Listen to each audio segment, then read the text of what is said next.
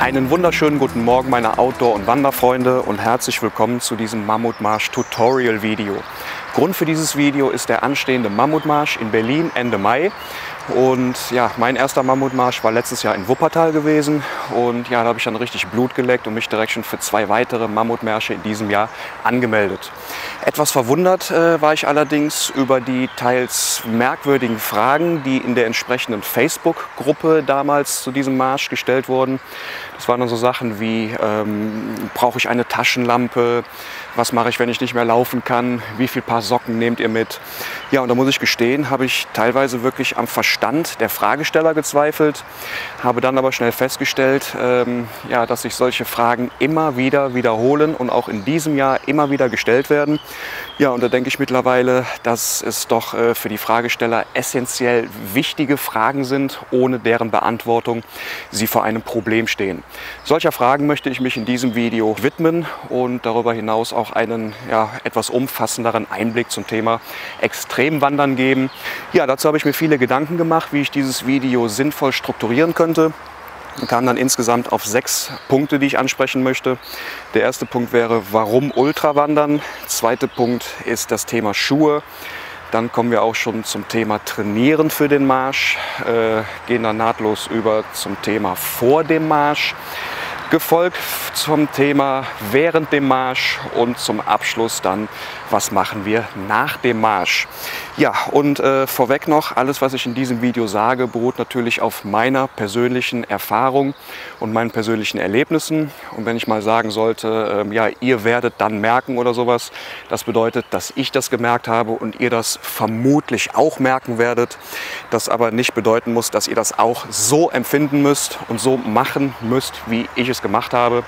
Ich kann halt in diesem Video nur, wie gesagt, von mir sprechen und euch meine Erfahrung mit auf den Weg geben. Ja, und dann würde ich sagen, legen wir auch sofort los.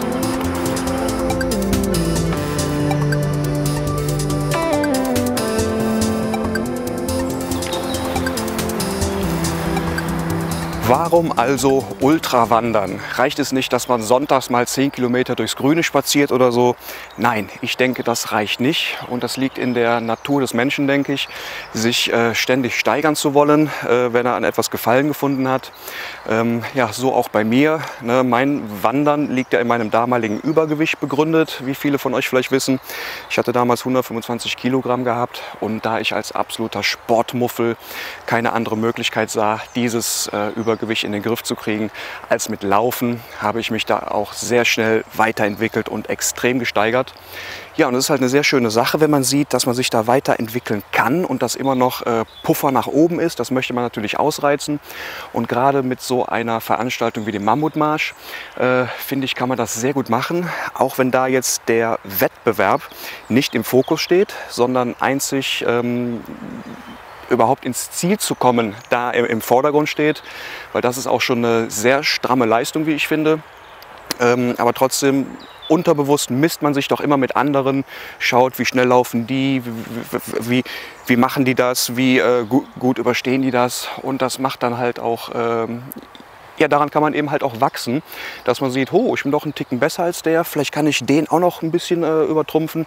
Es macht Spaß. Ja? Es macht einfach Spaß, sich da auch mit anderen Leuten äh, auszutauschen über deren Erfahrung. Und ähm, ja, deswegen finde ich gut, dass es solche Veranstaltungen gibt. Und damit kommen wir jetzt auch schon zum zweiten Punkt.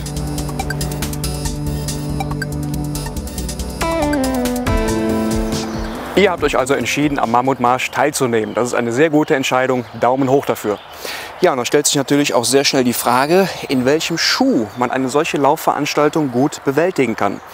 Ich habe letztes Jahr beim Mammutmarsch in Wuppertal tatsächlich Leute gesehen, die in schweren Bundeswehrstiefeln am Start standen. Also das halte ich definitiv für die falsche Wahl des Schuhwerkes. Ich empfehle immer einen extrem leichten Laufschuh, es gibt auch äh, leichte Wanderschuhe, da muss halt jeder für sich selber sehen, wo er mit klarkommt. Aber ähm, der Schuh sollte auf jeden Fall eine schöne, dicke Sohle haben, dass die Stoßenergie beim Laufen, ja, gerade auf Asphalt, dass die möglichst abgedämpft wird und dann nicht zu viel äh, Energie eben auf, eure, auf euer Skelett übertragen wird.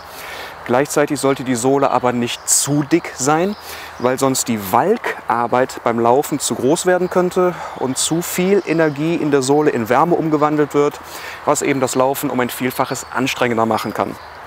Hingegen im Ballenbereich, wo der Schuh eben äh, abrollt, da sollte die Sohle äh, um einiges weicher sein, wiederum aber auch nicht zu weich, weil der Schuh soll euch ja beim Abrollen auch noch unterstützen können. Also ihr seht schon, das ist äh, wirklich eine Gratwanderung, äh, die man da so bei der Sohle ähm, gerade hat. Ich kann da speziell den Brooks Ghost 11 empfehlen. Ähm, ja, das ist ein Schuh. Ich habe mich so gefreut, dass ich den gefunden habe. Das ist nämlich ein Modell, kann ich, äh, den kann ich blind kaufen und weiß, der Schuh passt. Aber das hat wirklich jahrelang gedauert, bis ich äh, dieses Modell gefunden habe. Muss bei euch natürlich auch nicht so sein, dass ihr damit klarkommt. Ja, äh, was hingegen aber, denke ich, allgemeingültig richtig ist, dass der Schuh hier oben im äh, Zehenbereich keine Plastikverzierungen haben sollte. Denn die können beim Laufen dafür sorgen, ja, wenn die beispielsweise falsch einknicken, dass die auf euren Zehen oben anfangen zu scheuern und dann könnt ihr euch auf den Zehen oben drauf Blasen laufen. Also da bitte unbedingt drauf achten. Des Weiteren sollte der Schuh eine gute Durchlüftung haben. Da hat auch der Brooks Ghost ähm, eine, eine sehr gute Verarbeitung. Das ist so eine zweischichtige Membran, die, äh, beim Laufen wirklich merkt, dass da richtig äh, ja, Luftzirkulation im Fuß ist. Und damit kann man eben ein Schwitzen ähm, um einiges reduzieren. Das finde ich, sehr angenehm. Ja, des Weiteren, wenn ihr euch einen solchen Schuh aber mal genauer anschaut und euch mal die Sohle herausnehmt, dann werdet ihr schnell feststellen, was da drin ist. Das ist wirklich ein schlechter Scherz für einen solch hochpreisigen Schuh. Ähm, ich denke, die Hersteller greifen da auf einen genormten DIN-Fuß zurück und äh, fertigen dementsprechend solche minderwertigen Misteinlagen an. Anders kann ich das nicht, nicht, nicht bezeichnen. Die kann man auch nur in die Tonne kloppen. Nehme ich nachher natürlich mit. Ich lasse das nicht hier liegen, um Himmels Willen. Deswegen empfehle ich, auch wenn ihr gesunde Füße habt, lasst euch ähm, vom Orthopäden ein Rezept verschreiben, geht in ein Orthopädie-Fachgeschäft und lasst euch da von dem äh, Mitarbeiter, ähm, ich weiß gar nicht, wie die heißen, Schuhmacher, oder sind das auch Orthopäden? Ich weiß es gerade gar nicht. Lasst euch auf jeden Fall in einem Orthopädie-Fachgeschäft entsprechend eurer Füße persönliche Einlagen anfertigen. Ähm, das funktioniert so, ne, ihr stellt euch da in so ein Schaumstoffkissen rein mit beiden Füßen und dann werden die Füße abgedrückt und der Schuhmacher oder wie auch immer er, er, er heißt, kann euch dann entsprechend Sohlen anfertigen. Manche Geschäfte haben sogar eine digitale elektronische Vermessung. Was jetzt besser oder schlechter ist, kann ich nicht beurteilen. Ja, und dann werdet ihr schnell feststellen, wenn ihr euch eine solche Sohle mal anschaut, die hat verschiedenartige Schaumstoffe, ähm, sind da verarbeitet, die verschieden stark federn und, und sich auch anders anfühlen. Die sind dann verklebt und hier beispielsweise, also ich habe Senk-, Spreiz- und Knickfüße. Entsprechend ist hier dieser Bereich, wo der Fuß nach oben gewölbt ist, der ist bei mir ziemlich stark ausgeprägt. Und hier in der Mitte zum Beispiel am Ballen ist ein ziemlicher Hubbel. Das hat sich beim ersten Mal laufen damit ziemlich komisch angefühlt. Aber ich möchte diese Einlagen nicht mehr missen. Lass mir da auch regelmäßig neue anfertigen. Und wenn ich da mal Schuhe trage mit den äh, Standardeinlagen, da fühle ich mich richtig, äh, ja fast schon unsicher drin. Da ist überhaupt keine Stabilität, bietet diese Sohle. Und ja, kann ich nur wärmstens empfehlen, lasst euch Einlagen anfertigen. So, zum Schuhkauf selber, wenn ihr jetzt im Geschäft seid, kann ich nur empfehlen, den Schuh eben möglichst lange zu tragen und auch im Geschäft damit rumzulaufen und dann äh, auch mit geschlossenen Augen mal in euch zu gehen und euch auf eure Füße zu konzentrieren und auf jede kleinste Druckstelle zu achten. Wenn ihr eine solche verspürt, sofort weg mit dem Schuh, probiert ein anderes Modell aus. Die kleinste Druckstelle kann bei einem solchen Marsch, 100 Kilometer wollen wir ja machen, kann da katastrophale Folgen haben, bis hin äh, ja, zum, zum Abbruch, dass man einfach gezwungen ist, aufgrund massiver Blasenbildung den Lauf abbrechen zu müssen. Das wäre sehr schade. Darüber hinaus machen gerade Anfänger den Fehler, sich erst kurz vor einer Laufveranstaltung neue Schuhe zu kaufen. Besser ist es, sich schon etwa 8 bis 10 Wochen vor dem Starttermin neue Schuhe zu besorgen und sie vernünftig, das heißt etwa 150 bis 200 Kilometer einzulaufen. So gebt ihr dem Schuh und eurem Fuß genügend Zeit, sich aufeinander einzustellen, womit ihr einer Übermüdung der Fußmuskulatur und Blasenbildung vorbeugen könnt. Ja, und damit kommen wir auch schon zum nächsten Thema.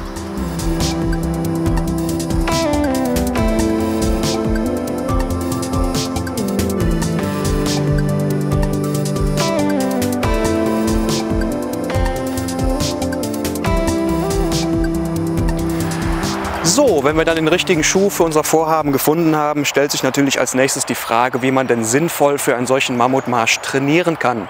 Ja, für die einen ist da mit Sicherheit die Facebook-Gruppe eine gute Lösung, um sich da zu Laufgruppen zusammenzuschließen. Ähm, für mich persönlich ist das nichts, weil ich halt einfach eine sehr hohe Geschwindigkeit laufe, bis zu 7,2 Kilometer in der Stunde. Und äh, ich habe halt keine Lust, mich den Geschwindigkeiten anderer Läufer anzupassen oder gar unterzuordnen. Für viele kann aber da äh, das eine gute Hilfe sein, einen Pacemaker an ihrer Seite zu haben. Das sind halt Leute, die über lange Strecken hinweg eine konstante Geschwindigkeit laufen und an die kann man sich gerade als untrainierter Läufer gut dranhängen und sich dann von dem mitziehen lassen. Ne? Denn die Anwesenheit von so einem guten Läufer, das ähm, ist nicht zu unterschätzen, was das für einen positiven Einfluss haben kann. Da kann ich nur aus Erfahrung sprechen. Letztes Jahr beim Mammutmarsch, als ich den Thorsten kennengelernt habe, Grüße gehen raus. Ne, wir haben uns da gerade in den späteren Stadien richtig gegenseitig super motiviert. Der ist auch eine ähnlich hohe Geschwindigkeit gelaufen wie ich. Und allein die Anwesenheit des anderen, ja, das hat sich gegenseitig so gut unterstützt, dass wir beide den Marsch sehr gut und schnell abschließen konnten. Worüber ich immer wieder überrascht bin, ähm, die Ansichten mancher Leute, die meinen, sich damit dreimal 30 Kilometer genug vorbereitet zu haben und sich dann wundern, dass sie an den 100 Kilometer scheitern. Ja, das ist äh, verständlich und nicht verwunderlich. Also wirkliche Empfehlungen für Trainingsmärsche sind da schwierig auszusprechen. Ich würde da aber so empfehlen, mindestens dreimal 30, dann in 10 Kilometer äh, Schritten das Ganze zu steigern, dann 4 mal 40, 5 mal 50, ein paar mal 60 und mindestens einmal 80 Kilometer zu laufen. Äh, ich denke, wenn man das geschafft hat, dann kann man auch die 100 Kilometer gut schaffen, denn die letzten 20 sind wirklich nur noch Kopfsache und äh, dann heißt es wirklich nur noch Zähne zusammenbeißen, Arsch zusammenkneifen und durchziehen. Wenn auch du am Mammutmarsch teilnehmen möchtest, aber vielleicht Angst hast, dies alleine zu tun, kann ich dich beruhigen. Viele Läufer gehen zunächst alleine an den Start, finden dann aber sehr schnell Anschluss, da man sich in einer großen Gruppe Gleichgesinnter befindet. Auch ich ging letztes Jahr alleine an den Start und schon nach etwa einem Kilometer hatte ich mich mit Thorsten zusammengetan.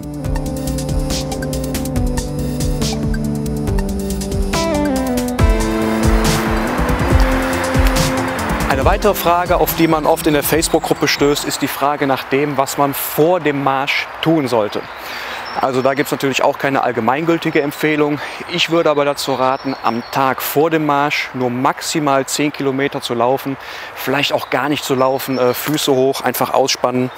Der letzte Trainingsmarsch aber sollte dann, ja, sagen wir, der 80 Kilometer Trainingsmarsch sollte dann aber auch schon mindestens eine Woche zurückliegen, denn die Regenerationszeiten eures Körpers, die können teilweise mehrere Tage äh, andauern. Man will natürlich auch mit frischer Energie an den Start gehen und deswegen da bitte vorher nicht übertreiben. Ja, eine weitere Sache, wo man sich auch Gedanken machen sollte, was man denn mitnimmt. Da kann ich mal wieder so von der Facebook-Gruppe erzählen, was da für Schreckensmeldungen und Schreckensbilder manchmal reinkommen, wenn die Leute stolz zeigen, was sie alles mitnehmen. Also die haben dann 17 Meter Pflaster dabei, drei Salben, fünf Paar Socken, vier Unterhosen, zwei Pullis, eine Jacke für warm, eine Jacke für kalt, eine Hose für nass, eine Hose für trocken, Ersatzpaar Schuhe. Also ihr merkt schon, ähm, das ist einfach viel zu viel. Leute, nehmt am besten gar nichts mit. Jedes Gramm, was ihr mehr mit euch rumtragt, mindert die Chance, dass ihr auch ins Ziel kommt. Und ihr braucht auch nichts. Ihr braucht auch kein extra Buffet noch mitzuschleppen. Es gibt vier Verpflegungspunkte, an denen ihr wunderbar versorgt werdet mit, mit Salzstangen, äh, Bananen, äh, Energieriegeln. An ausgewählten Punkten gibt es dann auch zusätzlich äh, warme Speisen, die ihr da käuflich erwerben könnt. Und also es ist für Nahrung ist gesorgt. Bitte übertreibt es nicht. Haltet das Gepäck so minimalistisch wie möglich. Was aber wichtig ist, was ich für sehr wichtig halte, eben ein Trinksystem zu haben, nur mit so einem Schlauch, wo ihr dann während des Laufens problemlos trinken könnt. Weil ich persönlich finde nichts anstrengender, als äh, wegen Trinken stehen bleiben zu müssen. Das kostet Zeit und auch Kraft, den Rucksack aus- und abzuziehen. Also Trinksystem halte ich für sehr wichtig. Was auch wichtig ist, ist natürlich eine Taschenlampe dabei zu haben, denn es ist ein 24-Stunden-Marsch. Ähm, da, ist da ist wahrscheinlich von auszugehen, dass man auch durch die Nacht läuft. Und äh, ja, in manchen Waldgebieten ist es halt nachts sehr dunkel und da ist eine Taschenlampe sehr zu empfehlen. Ich würde da aber von einer Stirnleuchte abraten, weil mich persönlich stört das, das Ding immer auf dem, auf dem Kopf zu haben. Das wackelt auch beim, beim äh, Laufen, also schwingt so ein bisschen mit. Mich stört das. Ich habe halt so eine kleine Handleuchte in der Hand und äh, die kann man sich vielleicht auch hier am, am, Rucksack festmachen. Also da gibt es auch andere Möglichkeiten als Stirnleuchten. Und darüber hinaus halte ich es noch für sehr wichtig, äh, dass man sich ähm, Magnesium- und Kaliumpräparate mitnimmt. Meine Faustformel sind da so alle 10 Kilometer so eine halbe Tablette von zu nehmen. Es gibt auch solche Pulvertütchen, da ist das schon aufgelöst drin, auch mit Sportmineralien, also noch andere Sachen als Magnesium drin. Die finde ich, halte ich für sehr sinnvoll. Ja, und nochmal gerade zurück zur Wahl der Kleidung oder zu, zu, zu, dem, was man grundsätzlich mitnimmt. Nehmt das mit, was ihr am Körper habt. Äh, ich meine, wir sind da die ganze Zeit in Bewegung. Groß frieren wird man wahrscheinlich nicht. Für die Nacht äh, ist aber doch eine dünne Sweatshirtjacke oder ein Pulli doch zu empfehlen. Und ja, vielleicht einen Schirm auch dabei zu haben oder eine Regenjacke. Aber damit soll das auch genügen. Also das äh, Gepäck sollte nicht schwerer als 5 Kilogramm sein. Ähm, damit ist man dann doch schon gut bestückt und man kann den, ja, das Ziel doch sicher erreichen.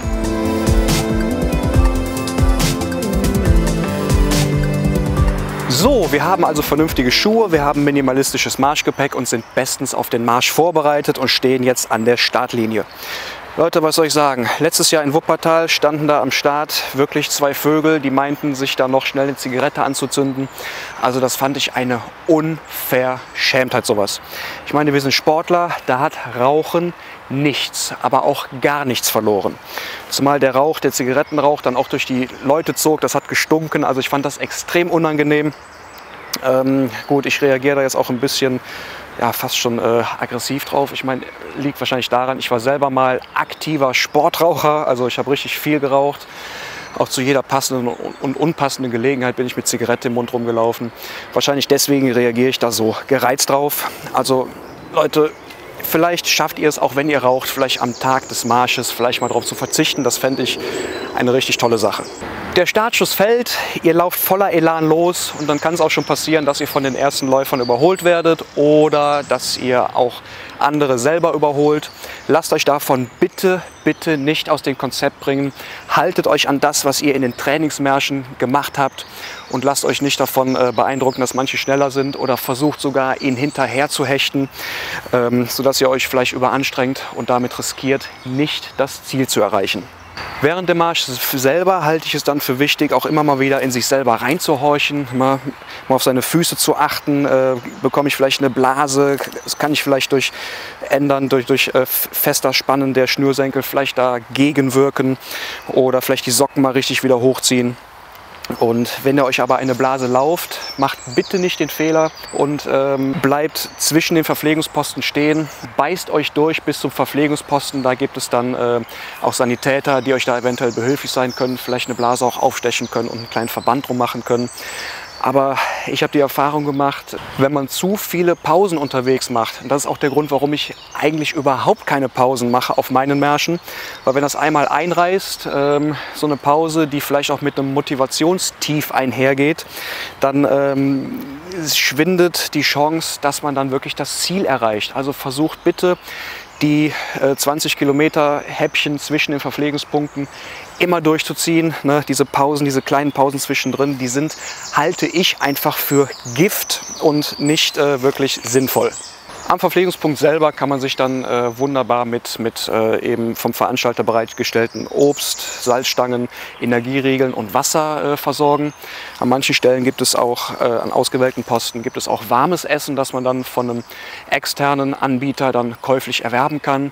Und macht da auch bitte nicht den Fehler, euch den Bauch zu voll zu schlagen, ne? weil wenn man dann einmal sitzt, vielleicht ähm, am, am, dritten Posten nach 60 Kilometern und ist dann eh schon ziemlich ausgepowert, schlägt sich da den Bauch voll mit vielleicht nicht ganz optimaler Nahrung, ja, die vielleicht ein bisschen fettig ist. Leute, ihr werdet wahrscheinlich nicht mehr hochkommen und werdet da sitzen und einfach den Marsch dann abbrechen. Also bitte die Pausen möglichst sparsam gestalten. Ich würde da empfehlen, maximal 20 Minuten und dann sofort auf und weiter. Alles andere kann wirklich nach hinten losgehen, sodass ihr das Ziel leider nicht erreicht und das wäre wirklich schade. Darüber hinaus werdet ihr auf dem Marsch wahrscheinlich mehrfach mit dem eben angesprochenen Motivationstief zu kämpfen haben. Ich begegne einem solchen Tief immer mit meinem eisernen Willen, das Ziel zu erreichen. Aber auch etwas Musik kann helfen. Rammstein halte ich dabei für äußerst empfehlenswert. Der fast schon militärisch anmutende Rhythmus ihrer Musik kann sehr belebend wirken und hat mich schon oft einen Energieschub gegeben. Ja, und wenn ihr euch dann durchgekämpft habt, den Arsch zusammengekniffen habt und die Zähne auch zusammengebissen habt, dann von mir an dieser Stelle auch schon mal Daumen hoch für diese fantastische Leistung. Ja, dann werdet ihr auch schon im Ziel in Empfang genommen. Ihr bekommt eine Urkunde überreicht, ihr bekommt eine Medaille umgehangen. Das sind diese, diese Holzmedaillen vom Mammutmarsch. Die riechen auch richtig so ein bisschen verbrannt, weil die da mit, mit einem äh, Lötkolben dieses, dieses Muster reinbrennen. Finde ich eine sehr schöne Sache, dass man da nicht irgendwelche Superpreise, sondern wirklich was Naturverbundenes auch ausgehändigt bekommt. Und ich glaube, dann gibt es dann im Anschluss noch eine Party, glaube ich. Ja, die habe ich aber damals gar nicht miterlebt. Ich war schon um 8 Uhr im Ziel, da waren die ja noch am Aufbauen. Und ja, dann kann man diesen ganzen Marsch nochmal Revue passieren lassen, sich vielleicht mit Leuten unterhalten, die auch mitgelaufen sind und es geschafft haben. Vielleicht andere Läufer auf den letzten Metern ähm, nochmal anfeuern. Ja, das gibt nochmal richtig Schwung für die Leute. Und genau, dann ist der Marsch erledigt. Und dann schauen wir uns jetzt zum Schluss noch an, was man denn so nach dem Marsch macht.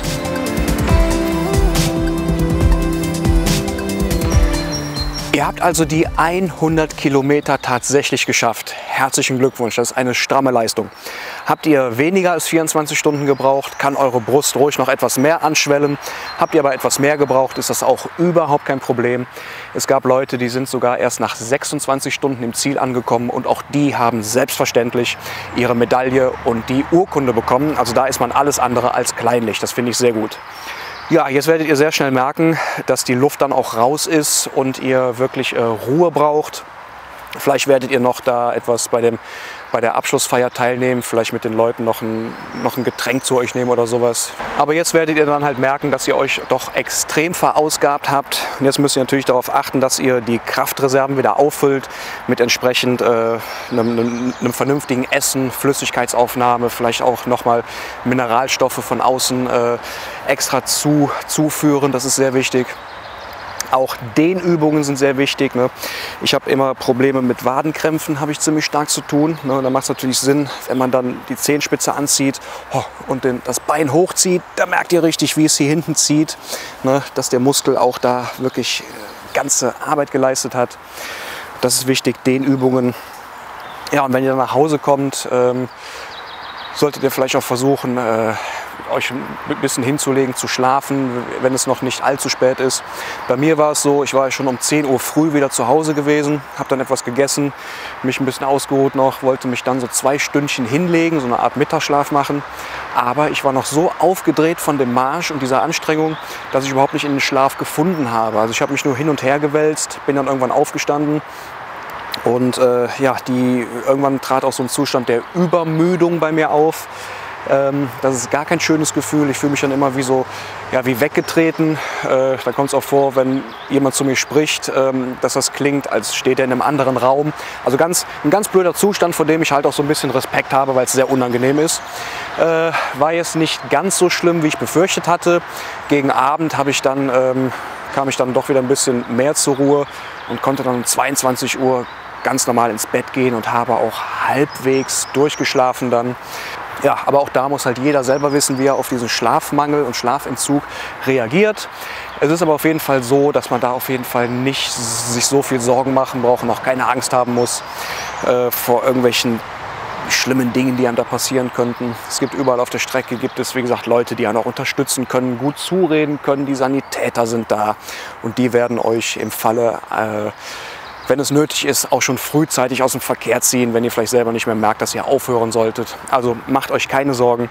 Es ist ein tolles Laufevent. Ihr seid da in besten Händen. Und so darf ich mich dann jetzt auch von euch verabschieden. Äh, ich denke, ich habe einige Einblicke gegeben. Wenn noch Fragen offen geblieben sind, ab in die Kommentare damit. Ich werde natürlich äh, darauf antworten. Und an meine Kölner Zuschauer, die haben wahrscheinlich gemerkt, dass ich mich hier am Militärring lang bewege. Habe heute dann auch für dieses Video sieben Kilometer zu Fuß zurückgelegt, um immer wieder verschiedene Locations aufzusuchen. Ja, hat mir sehr viel Spaß gemacht. Äh, ich bedanke mich fürs Zuschauen und wir sehen uns in Berlin am 25. oder 26. Mai. Ich bin gerade nicht sicher, ich blende es mal ein, zum Mammutmarsch 2019.